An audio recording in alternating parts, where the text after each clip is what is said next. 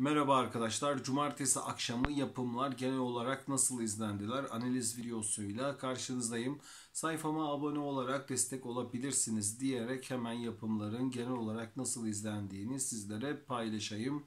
Bahtiyar Ölmez'le başlayalım. Bahtiyar Ölmez son bölümünden daha iyi izlendi. Seyirci çekişi ve seyirci tutuşu da son bölümünden daha iyiydi.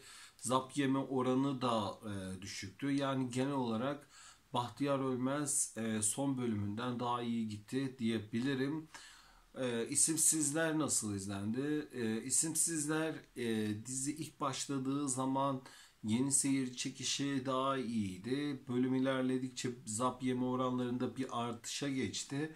Bölüm sonlarına doğru bir toparlanma yaşadı ama genel olarak yeni seyirci çekişi çok yüksekti diyemem. Ama şunu söyleyebilirim son bölümünden daha iyi izlendi isimsizler.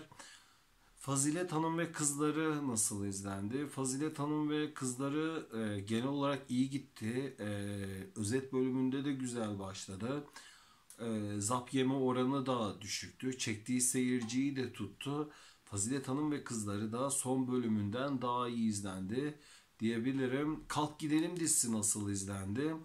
Kalk Gidelim dizisinde özellikle AB ve ABC1 oranlarında bir artış var arkadaşlar. Son bölümünde de bu artışı yaşadığı çıkıyordu ve yeni bölümünde de e, artışta devam etti.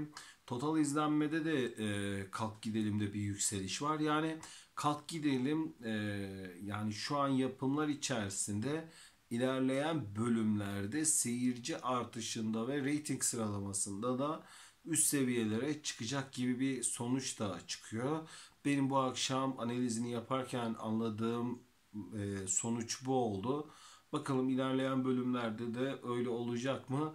Kalk gidelim de son bölümünden iyi gitti ve e, yeni seyirci çekişinde de artış da yaşıyor diyebilirim.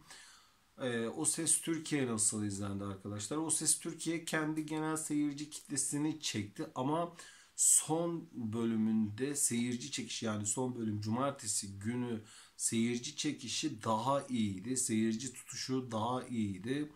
Bu bölüm e, kendi genel seyirci kitlesinden e, farklı yapımlara seyirci gönderdi. O Ses Türkiye son bölümünde bende daha iyi gitti diyebilirim.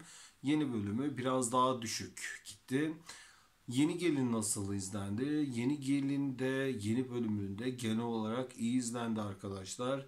Ee, özellikle total izlenmede Yeni Gelin'de bir artış e, bu bölüm e, göze çarpıyor. İyi bir artış da yakaladı. Yani Yeni Gelin de yeni bölümünde genel olarak iyi gitti diyebilirim ve e, seyirci çekişi de son bölümüne göre çok çok hızlıydı.